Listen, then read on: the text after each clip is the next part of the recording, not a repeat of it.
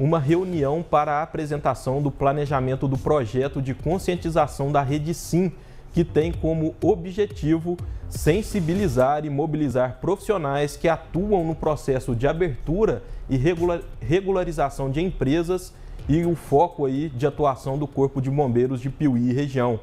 Estiveram presentes na reunião alguns representantes das cidades de Capitólio, Pimenta, Vargem Bonita e São Roque de Minas, além, claro, de Piuí.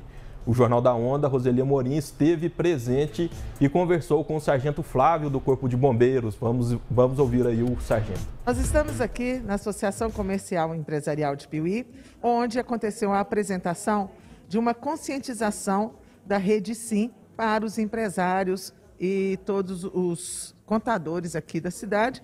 E eu vou falar agora com o Sargento Flávio do Corpo de Bombeiros, que também, Corpo de Bombeiros, é um dos integrantes desta rede.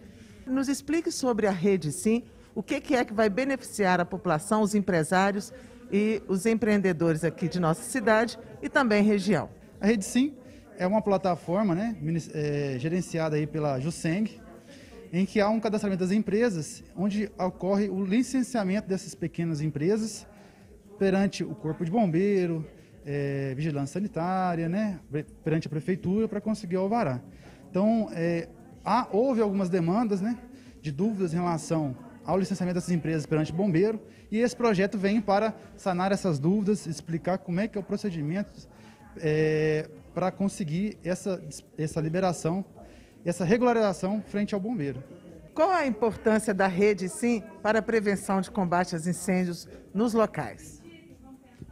É, a rede, sim, ela é uma plataforma, como eu disse, é, em que o proprietário ou o responsável pelo preenchimento vai estar ali é, fazendo uma declaração, né, que foram instaladas medidas de segurança no estabelecimento, né, e que a empresa está é, regularizada perante o bombeiro. Então, assim, ela consegue uma dispensa. E com esse documento, a empresa consegue ter ali acesso ao alvará das prefeituras né, para o funcionamento.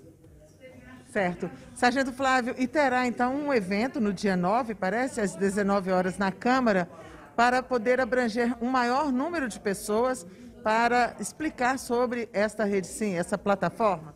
Sim. Está é, tá previsto para o dia 9 de maio, março, né? É, às 19 horas, na Câmara Municipal de Piuí. A gente vai ter o um evento, é, uma palestra sobre a rede sim, explicando os procedimentos, o passo a passo, tirando as principais dúvidas no preenchimento dessa plataforma.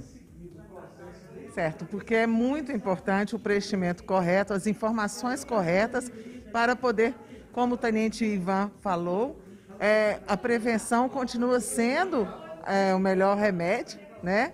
Para que fique tudo legalizado. Sim. É, a declaração né, da Rede Sim é muito importante, né? É declarar realmente que foi feito, o que se tem no estabelecimento de medidas de segurança contra prevenção a incêndio.